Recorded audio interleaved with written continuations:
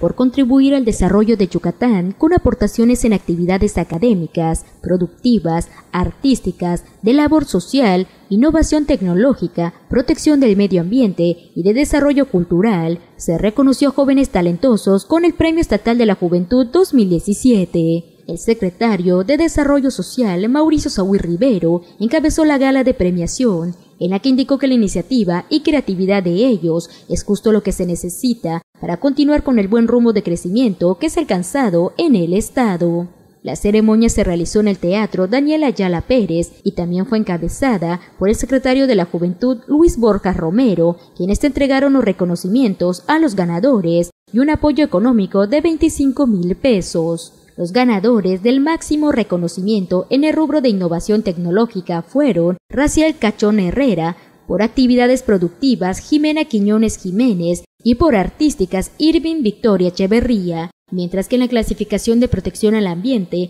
el galardón lo obtuvo Stephanie Campos Arabia, en preservación y desarrollo cultural Sergio José Ceballos Castillos y por labor social José Enrique Mike Zip, en lo que respecta a la categoría académica A y B, Manuel Guillermo Flota López y Joet Amílcar Peña Alcocer, respectivamente, fueron acreedores a tal distinción. Notivisión.